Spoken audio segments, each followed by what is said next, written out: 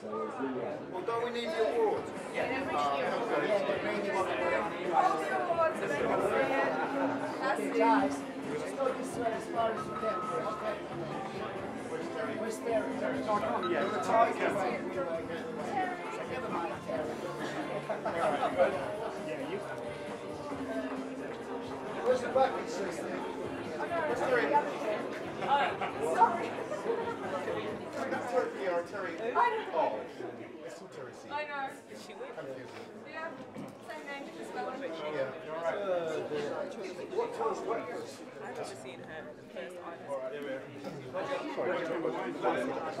Look this camera, please.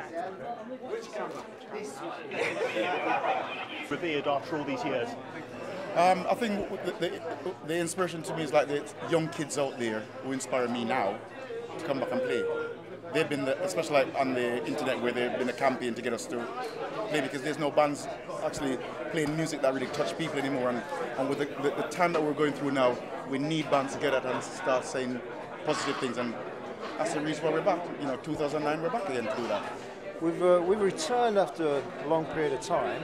Um, and I think to celebrate our anniversary for our major big fan base, which we have, we also sort of um, come back to a situation that's not too different as to the socio-political climate in '79.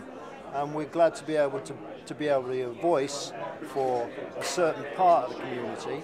Uh, how we appear on stage is what we are. So what you see is what you get with the As you can see, it's a multiracial band. you know, we don't really a multiracial to- country, and that's what we're about. We've been on People that. united. We've been on that page for 30 years, you know, and our music has always been represented. There's absent friends, but we all mean the same thing. We're all, all here to do the job, and we hope we can make some impression on people. What are the problems in society at the moment, do you think, that are the problem makers, and how do you want to make a difference? Um, how long have you got? It's, uh, Big question. there are lots of problems. Problems still exist, and uh, if you're going to pick up an in- inspiration award, then you've got to try and inspire people.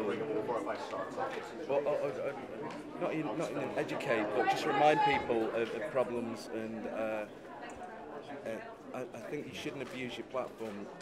Um, you know, stage is there, and just as Nick Griffin had an opportunity to say how he felt on Thursday, so do we. And um, yeah.